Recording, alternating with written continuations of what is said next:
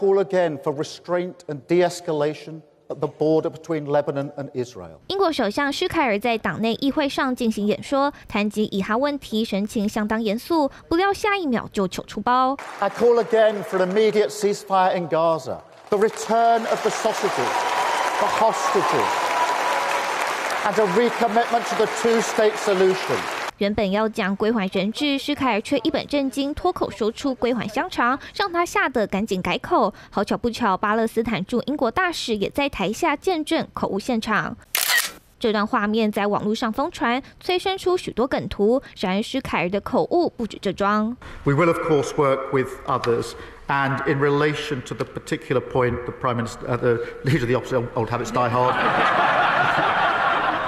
今年七月刚接任首相的施凯尔在医院发表谈话时，竟一时忘了自己是新首相，把已卸任的苏纳克喊为首相，让在座议员哄堂大笑。现年六十二岁的施凯尔接连出包，好在都能透过幽默化解尴尬。不过施凯尔对于国际领袖在公开场合上出现口误，或许一点也不陌生。And now I want to hand it over to the president of Ukraine, who has as much courage as he has. Determination. Ladies and gentlemen, President Putin. President Putin. He's going to beat President Putin. President Zelensky.